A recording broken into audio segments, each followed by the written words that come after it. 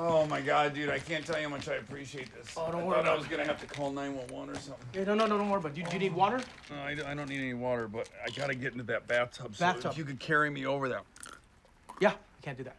What do you mean you can't do that? Physically, I can do that, but I'm not gonna carry your naked into the tub. I mean, you got a curtain on. You can't even lift me up and take me to the tub. You know what? I'll drag you there, but I'm not gonna cradle you like a newborn, okay? I'm not gonna do that. Okay, you're gonna drag me there. Yeah.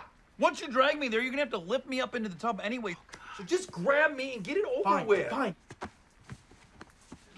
Oh, ow! God, you're hurting me, man. Let's just get it over making with. worse. Come on. I'm not gonna argue semantics with you.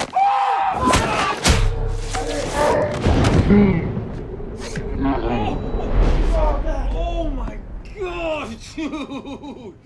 Hey, did you break anything? No.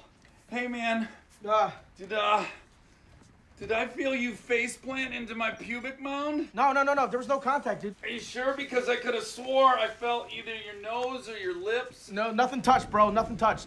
Oh. It might have been like a, a little, like a little bit of contact.